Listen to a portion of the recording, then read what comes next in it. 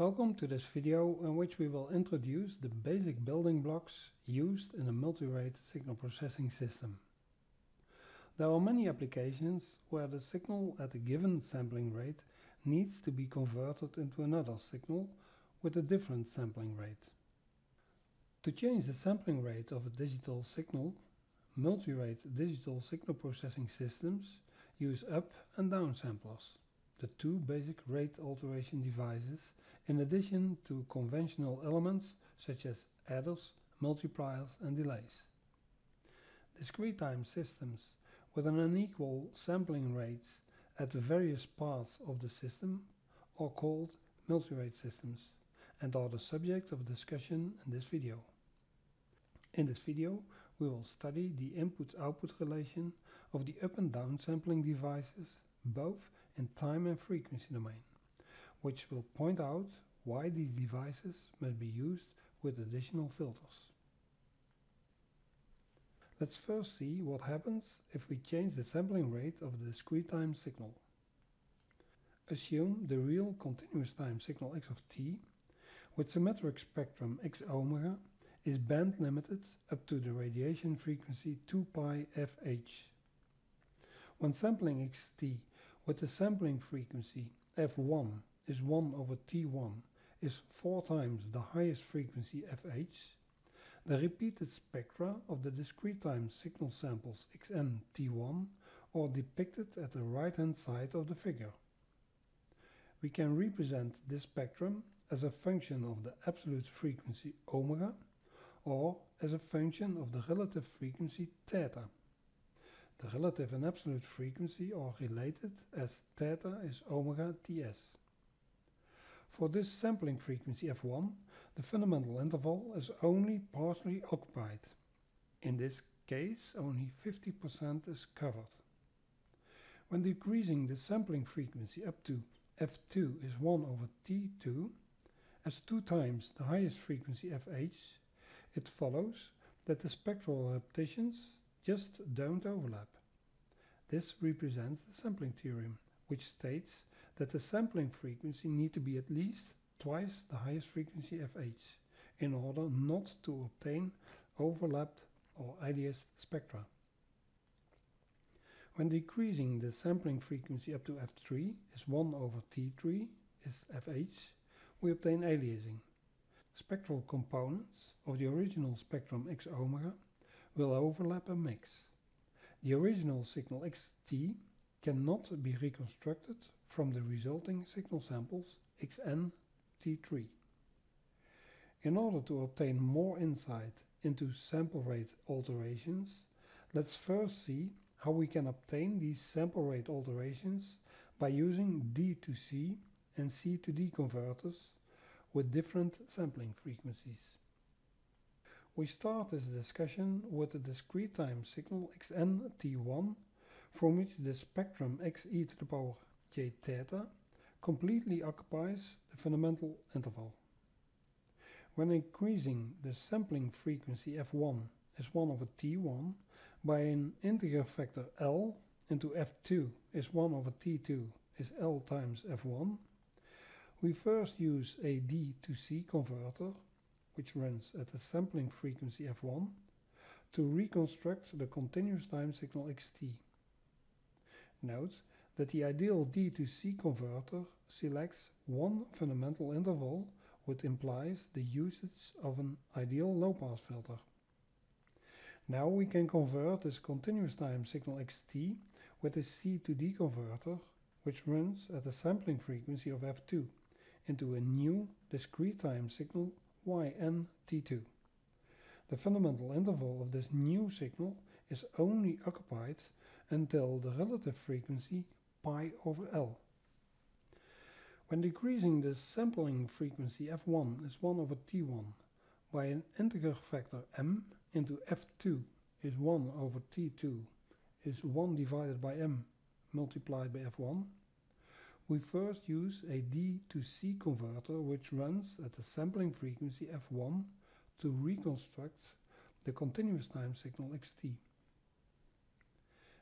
Because of the fact that f2 is smaller than f1, The spectral content of the output signal YNT2 can contain aliasing, depending on the original spectrum x e to the power j theta. In order to prevent aliasing, we have to use an analog low-pass filter. The cutoff frequency of such a low-pass filter has to be f2 divided by 2, and the result of the C to D converter discrete time signal YNT2 does not contain aliasing. However, we should realize that a part of the spectral content of the original discrete time signal XNT1 has been deleted in this way, and as such we cannot reconstruct the signal samples XNT1 based on the samples YNT2. Because of accuracy and cost-effective reasons, most practical implementations of the sample rate alteration devices will not use D to C and C to D converters. We will describe how sample rate converters can be implemented directly in a discrete time domain.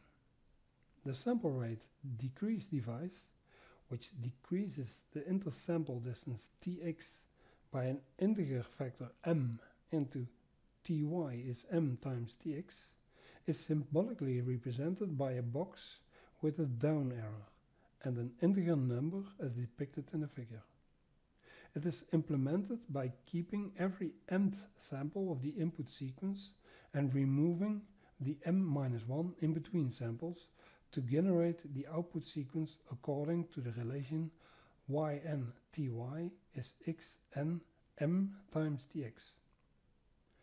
As a result, all input samples with indices equal to an integer multiple of m are retained at the output, and all other samples are discarded, as illustrated in the figure for MS2. The main question is how to describe such a device mathematically. Since this device is not an LTI system, we cannot describe the system with its impulse response. However, we can deduce the relationship between the FTD spectra of in and output as follows. For this, we split the last summation into consecutive blocks of m samples. This results in a double summation. Each pth element of a block of m samples is added with the pth element of all other blocks of m samples. Comparing the equation in between brackets with the FTD spectrum x e to the power j theta results in the given equation. The FTD spectrum of the output of the sample rate decrease device can be described as a sum of m uniformly shifted and stretched versions of the FTD spectrum of the input, which is scaled by a factor 1 over m. To understand the implication of this relation, consider a factor 2 sample rate decrease device. According to the previous result, the output spectrum contains two terms. For convenience, we assume the FTD spectrum x e to the power j theta as depicted in the figure. The plot of the first term of the output spectrum is shown in blue. To determine the relation of the second term with respect to the first, we can either first shift the original spectrum over pi and then scale by a factor of 2 or first scale by a factor of 2 and then shift over 2 pi. The resulting plots of the two terms have an overlap and hence, in general, the original shape of x e to the power j theta is lost when xn tx is downsampled. This overlap causes aliasing due to undersampling. In case there is no overlap between the two terms, there will be no aliasing, which can be shown by the following example. When the FTD spectrum of x e to the power j theta is 0 for theta larger or equal than pi over 2, the first term and the second term do not overlap and the resulting spectral information is only stretched but not aliased. Thus we can conclude that depending on the spectral content of the input, the sample rate decrease device can cause aliasing. By using a low-pass filter in front of the SRD device, we can prevent aliasing which results in a decimator.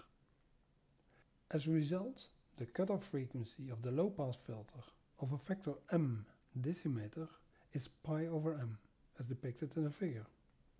In time domain, the low-pass filter results in a smoothed version of the input sequence. In general, we should realize that depending on the spectral content of the input, parts of the spectral information can be lost when applying a decimator. An upsampler with an integer upsampling factor L develops an output sequence YNTY with a sampling rate that is L times larger than that of the input sequence XNTX. Thus, Ty is Tx divided by L. The upsampling operation is implemented by a so-called sample rate increase device, which is schematically represented by a box with an up arrow and a number L in it.